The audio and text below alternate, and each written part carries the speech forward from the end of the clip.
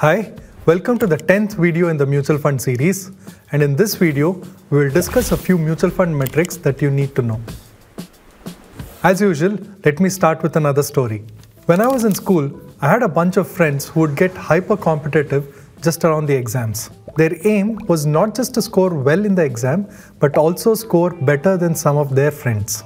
I still remember this incident very clearly. The results of physics paper was out, and it was a super difficult paper to crack. While the rest of the class hoped that they would clear the paper, there were these two guys who had scored amazingly well. One of them was my friend. My friend had scored 93, far better than the rest of the class. But there was this other guy who had scored 95. This friend of mine was just not happy. For him, the benchmark was not the rest of the class, but this other guy who had scored 95.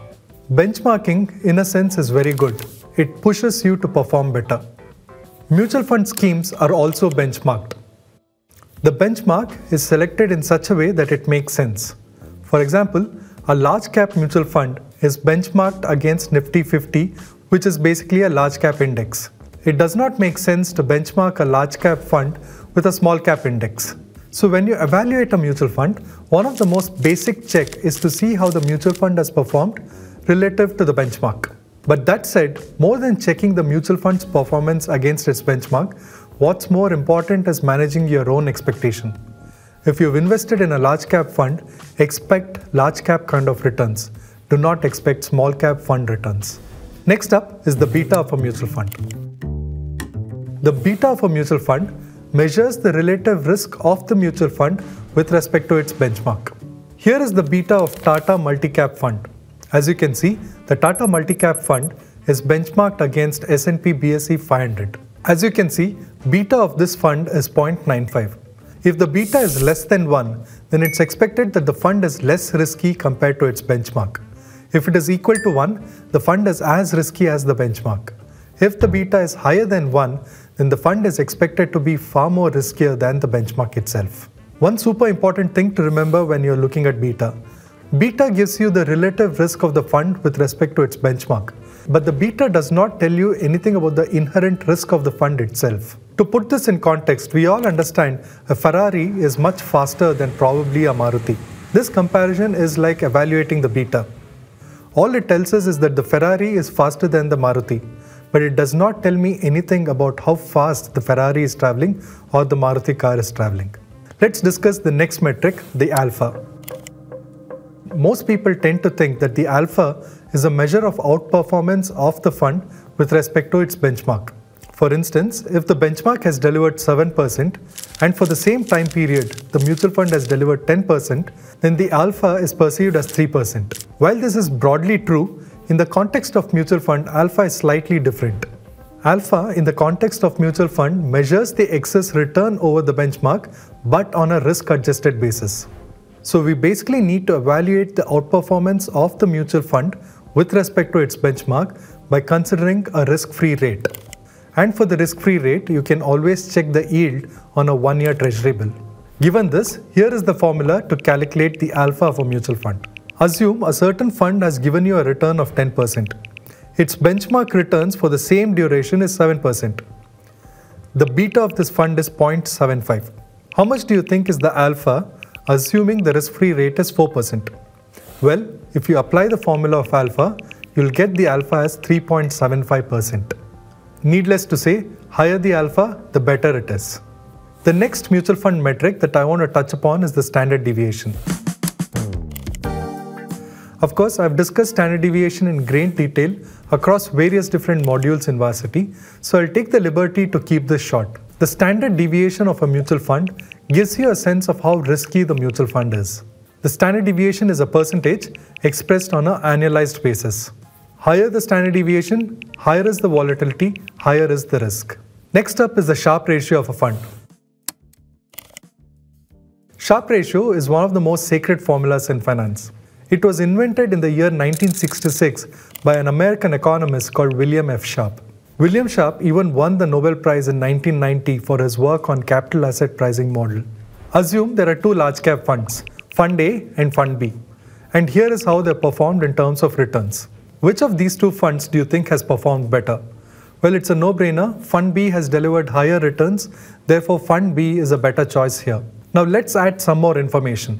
Along with the returns of the fund, I've also included the risk or the standard deviation of the fund and also a certain risk-free rate. Now, given all this information, which of the two funds do you think is better? Well, if you were to evaluate fund based on risk, then fund A is better as it has a lower standard deviation compared to fund B and if you were to evaluate the fund based on returns, then fund B is better as it has delivered higher returns than fund A. But in reality, you will have to choose a fund both based on risk and return. You cannot isolate risk and return and evaluate a fund. And this is where Sharpe ratio helps us. The Sharpe ratio of a fund is the excess return of the fund over the risk-free rate divided by the standard deviation of the fund. If you apply the Sharpe ratio formula to fund A, you'll get the Sharpe ratio as 0.29. What this number conveys is that for every unit of risk, the return is 0.29 over and above the risk-free rate. Well, by this measure, higher the Sharpe ratio, the better it is, as we all want higher returns for every unit of risk. Let's apply the Sharpe ratio to Fund B. As you can see, Fund B also has a Sharpe ratio of 0.29. So it turns out both the funds are similar in terms of Sharpe ratios. There's no real advantage in choosing Fund A over Fund B. Now, let's change the standard deviation of Fund B from 34% to 18% and reapply the Sharpe ratio formula. As you see, the Sharpe ratio is now bumped up to 0.5. What this means is that for every unit of risk that the fund takes, the return is 0.56 higher than the risk-free rate, which obviously is very good. Do note, Sharpe ratio only considers price-based risk, it does not consider credit risk, default risk, and all the other risks applicable to a debt fund, which implies that you should use Sharpe ratio only for an equity fund and not to a debt fund. Let's move ahead and discuss the last metric, the capture ratios. A benchmark, as you know, is market linked. Any market linked instrument will have both positive and negative returns. The capture ratio tells us for a given period to what extent did the fund capture the positive returns of the benchmark and also to what extent it did capture the negative returns of the benchmark. Here is an example. These are the capture ratios of HDFC Top 100 Fund. This is direct growth. These capture ratios are on a three-year basis. And I've taken this from the Morningstar's India website. The fund has an upside capture ratio of 99 this implies that the fund has managed to capture 99% of the index's up move. The downside capture ratio is 119. This implies that the fund has captured 119% of the downside returns of the index. The upside capture ratio conveys to the extent to which the fund captures all the positive returns of the benchmark. The downside capture ratio indicates the extent to which the fund captures or rather avoided all the negative returns of its benchmark. Given this, ask yourself what should be the ideal capture ratio of a mutual fund?